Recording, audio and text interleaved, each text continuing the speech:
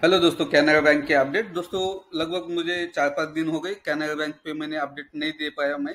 तो आज मैं आपको बताने वाला हूँ कि यहाँ पे कैनरा बैंक में क्या हो सकता है आगे।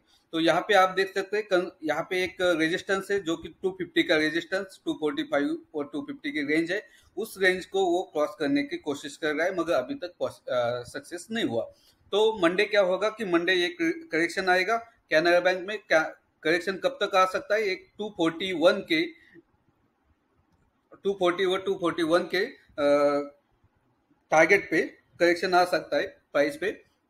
वहाँ से वो रिवर्सल होना चाहिए ऊपर की तरफ़। क्योंकि यहाँ पे देखिए ये जो ट्रेंड लाइन मैंने ड्रॉ की है, उसको बार बार वो सपोर्ट करके ऊपर जा रहा है।